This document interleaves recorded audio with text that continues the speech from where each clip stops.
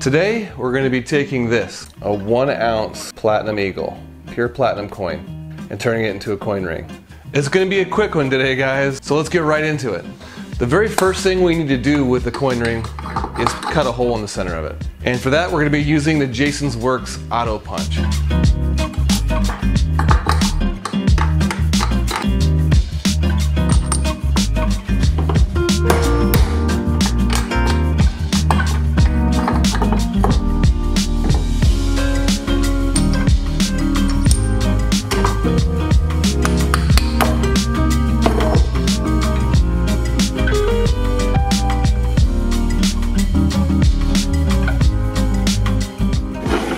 Once the hole is cut, we've got to deburr it. And deburring is going to make sure we're not going to split this guy.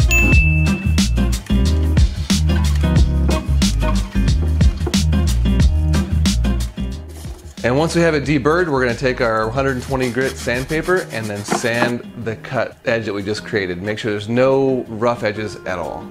And what we would normally do up to this point would be anneal, and that's going to be softening the metal.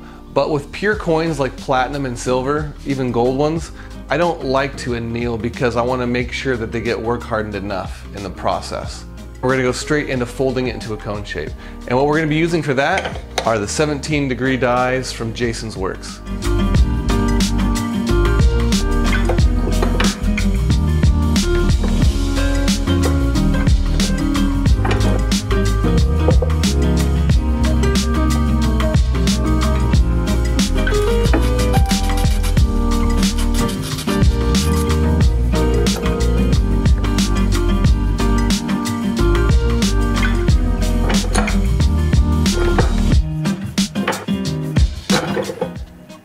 So now that we have a nice folded ring, we're gonna skip annealing again and go straight to Swedish wrapping. And what Swedish wrapping is, is it takes larger coins and shrinks them into a much smaller size so we can make the ring sizes we're looking for. Today we're going for a size 11 and a half on this ring. So it only needs to be Swedish wrapped a little bit.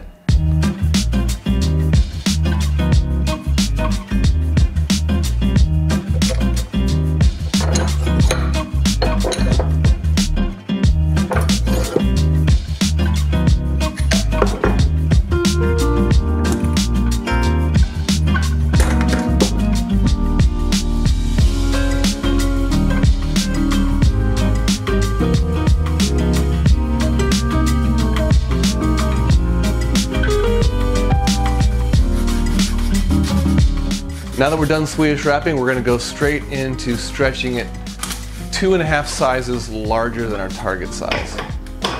That'll give us enough room to shrink it back down and make a nice curved ring when we're finished.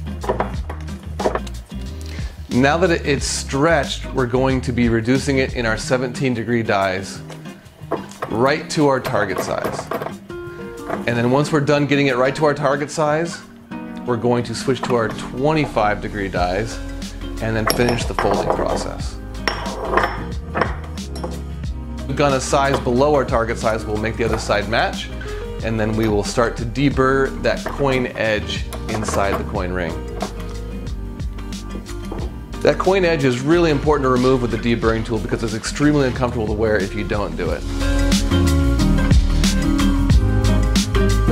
Now that we're finished with all of that, it's time to finish the ring. And what I like to do is finish it with a Shia LaBeouf. And these are just muslin buffs, and I use green rouge with them. And with platinum, it's really important.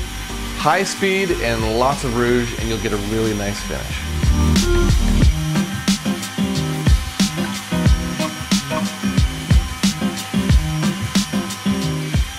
All right, now that we're finished with that, we'll throw in the ultrasonic, clean all the rouge off of it, and then give it a quick steam, and we're done. All right, guys, here's the finished result. I can't believe I've gone this long with the Coin Ring channel and I haven't done a Platinum Eagle. All right, guys, thank you for watching.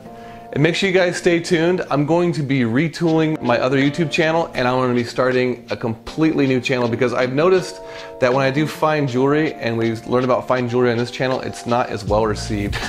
so we're going to retool the other channel to do just fine jewelry. It's going to be called Sojourn Fine Jewelry. Thank you guys for watching another video. Thank you for also considering subscribing to my other channel. I'm sure you won't be disappointed if you do.